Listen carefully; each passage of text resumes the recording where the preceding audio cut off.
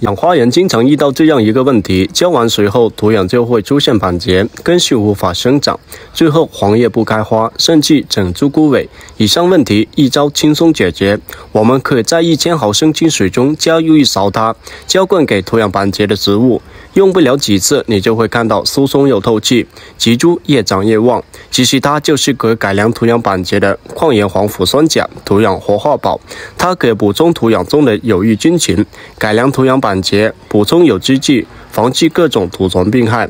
不想家里的盆土板结，可以点左下方小黄车了解。